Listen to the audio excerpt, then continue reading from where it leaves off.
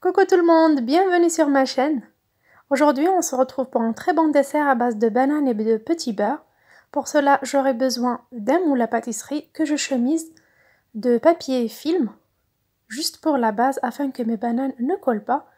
J'aurai besoin également de deux bananes coupées en rondelles. Là, je les ai filmées et je réserve au frais. Et de deux paquets de petits beurre selon le diamètre de votre moule. J'aurai besoin pour la crème d'un demi-litre de lait, un sachet de sucre vanillé ou quelques gouttes d'extrait de vanille que je mets à bouillir sur le feu. Dans un saladier, je mets 3 œufs avec 50 g de sucre semoule. Je mélange bien afin de préparer genre d'une crème pâtissière au chocolat et fruits secs. C'est vraiment une très très bonne crème qu'on peut utiliser pour tous les desserts.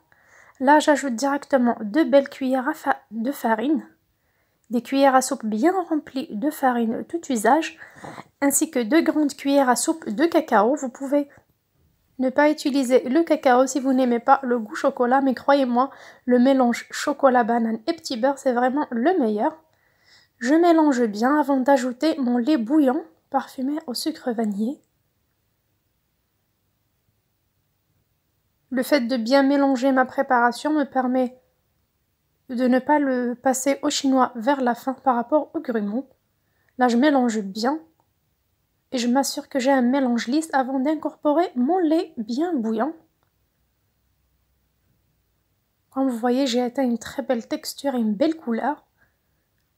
Je verse petit à petit mon lait en mélangeant sans cesse avec un fouet manuel ou une fourchette. Je mélange bien, puis je remets dans, une casserole ou, ou un tout sur un feu doux jusqu'à obtention de la consistance de la crème désirée. Là, comme on a bien mélangé, on n'a pas besoin de passer au chinois. Là, j'ai déjà mis sur feu doux et je mélange comme ça sans cesse jusqu'à ébullition. Comme vous voyez, le mélange commence déjà à mousser, donc à chauffer. Une fois bouilli, je verse directement dans mon saladier que j'ai déjà lavé. Comme vous voyez, là, j'ai une crème euh, épaisse, une crème pâtissière bien épaisse. Je peux ajouter à ce stade-là une belle cuillère à soupe de beurre. Pour moi, ça va être une cuillère à soupe bien remplie de fruits, secs mixés, genre d'un praliné. Vous voyez, ça se vend dans les commerces. C'est un mélange nutritif et énergisant. Il est vraiment trop bon. Vous pouvez tout simplement mixer euh, quelques amandes ou n'importe quel genre de fruits secs avec un peu du beurre ou tout simplement mettre que du beurre. Là, j'ajoute une, belle cuillère de mélange confiture miel. Confiture de cassis et miel. Vous pouvez mettre n'importe quelle confiture ou tout simplement ne rien mettre. C'est selon vos goûts. Moi j'aime bien le mélange de chocolat, pralin, fruits secs et surtout confiture et miel. Et pour les amateurs de cannelle, c'est vraiment un vrai délice si vous en mettez un petit peu de cannelle. Ces associations sont selon vos goûts. J'essaye d'écraser un petit peu, comme le mélange de fruits secs vient de sortir du frigo, donc il est un peu consistant. Je mélange un peu jusqu'à ce que j'ai une texture bien lisse. Puis je commence directement le montage de mon gâteau avec une crème comme ça directement chaude. Je la laisse même pas refroidir afin de permettre à mon biscuit de s'imbiber avec les saveurs de la crème et avoir un gâteau bien fini. Là directement je commence à disposer mes rondelles de banane sur la base de tout mon moule. Vous pouvez utiliser n'importe quel cercle ou moule ou tout simplement des verrines. Ça marche aussi avec les verrines, c'est vraiment très très beau au visuel. Pour moi, j'ai choisi ce grand moule afin de faire vite. C'est vraiment un dessert 5-5 que je peux réaliser en 5 minutes pour 6 à 8 parts. On peut utiliser ce genre de dessert ou de tarte pour les anniversaires, pour les cérémonies ou même pour le goûter. Là, j'ajoute un tiers de ma crème. Je vais étaler ma crème en trois fois. je prends environ 3 à 4 cuillères à soupe et je commence à étaler en arrivant jusqu'au bord afin d'avoir un gâteau bien lisse. Ne craignez rien sur vos bananes, elles vont même pas noircir, car directement dès que je finis le montage de mon gâteau, je mets au frigo et elles vont même pas noircir, elles n'auront même pas le temps de, de noircir, elles vont juste être entourées de cette crème au chocolat et c'est vraiment très très beau et surtout trop bon. Là, je commence à étaler mes petits beurres sur toute la crème. Je mets des petits beurres en entier et pour les, les côtés, je découpe mes petits beurres en petits morceaux afin de couvrir toute la surface.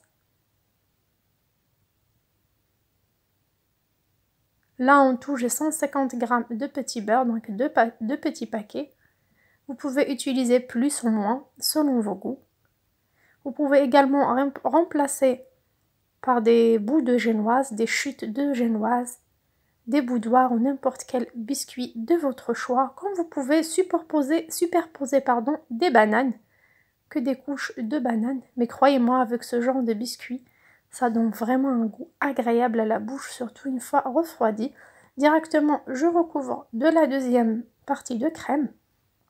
J'étale rapidement tant que la crème est chaude afin que je puisse euh, la manipuler comme je veux. Il ne faut pas laisser la crème refroidir.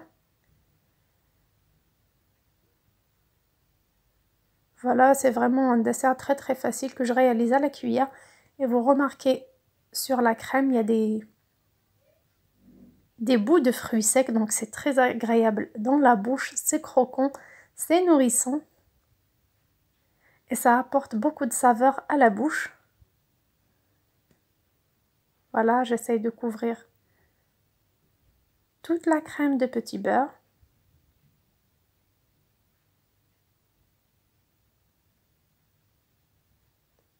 Et enfin, je mets ma dernière partie de crème, mon dernier tiers de crème. On peut s'arrêter à ce stade-là pour les biscuits. Moi, comme il m'en reste cette dernière couche de biscuits, c'est pas suffisant pour couvrir tout le gâteau mais peu importe, je peux la mettre du moment qu'on va retourner notre gâteau.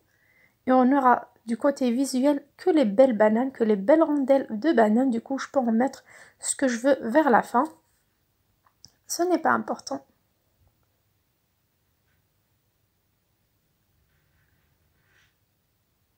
Voilà, on peut s'arrêter tout simplement à ce stade.